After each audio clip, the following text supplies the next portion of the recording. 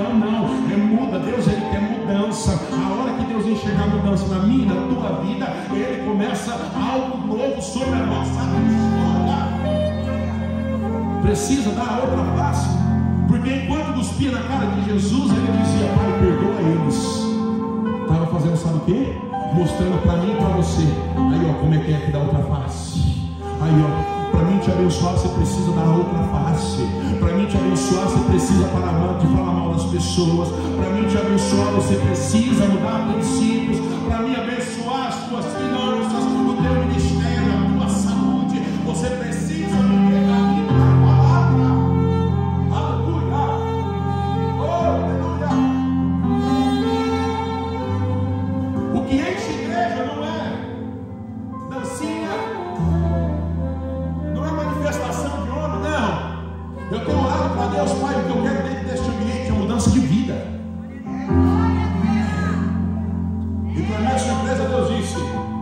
só pode acontecer pela luz da minha palavra.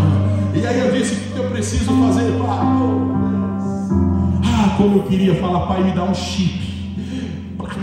Enfiar na cuca e falar, tem a Bíblia aqui, eu só escolhi, eu conheço tudo. Não, mas Deus disse, vai buscar, vai orar. E eu disse, pai, parece que é tão difícil, sabe o que ele dizer para mim?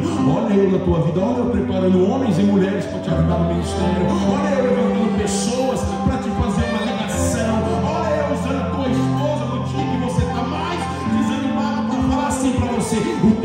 escritório está te esperando, a presença de Deus está lá dentro, vai lá porque Ele quer te visitar. É Deus usando pessoas, é por isso que eu e você é tempo do Espírito Santo de Deus.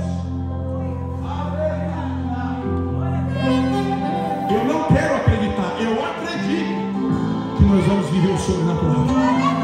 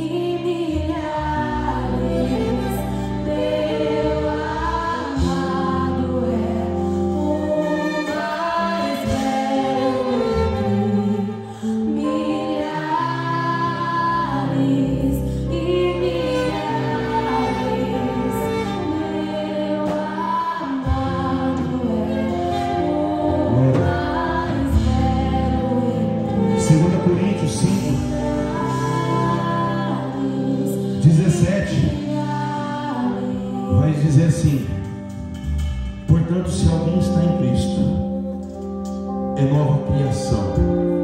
Portanto, se alguém está em Cristo, é nova criatura. As coisas antigas já se passaram. Eis que surgem coisas novas.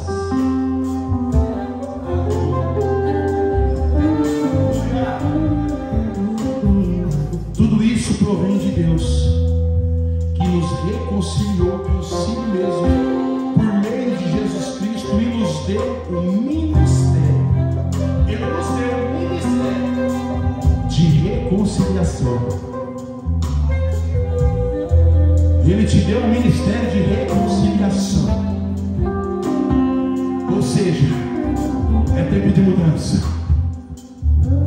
Ou seja, é tempo de reconciliar com alguém. É tempo de fazer uma ligação ainda hoje. É tempo de mudar alguns princípios, ou seja, ele tem de dar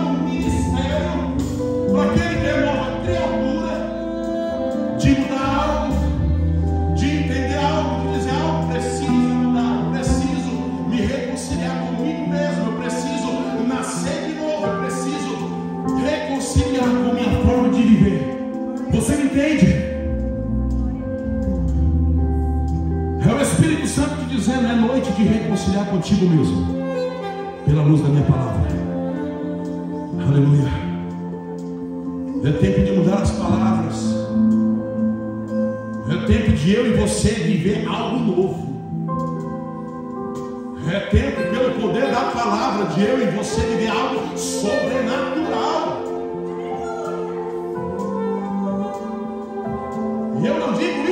Causar conforto na tua história. Porque antes que a palavra saia da minha boca, Jesus está sondando o meu coração. Eu digo isso para que a palavra cause mudança na tua vida e na minha vida. É tempo de olharmos para dentro de nós. É tempo de examinar o homem a si mesmo. Não é tempo de olhar para este versículo só no dia de ceia, dizendo examine-se o homem a si mesmo. Não. É todos os dias é tempo de eu, de eu me examinar. Todos os dias é tempo de você se examinar e entender que o Senhor Jesus te deu um ministério de reconciliação. Você precisa reconciliar com Ele, você precisa reconciliar com pessoas, você precisa dizer: sai da minha vida mentira, sai da minha vida pecado, sai da minha vida miséria, sai da minha vida tudo aquilo que não é de Deus.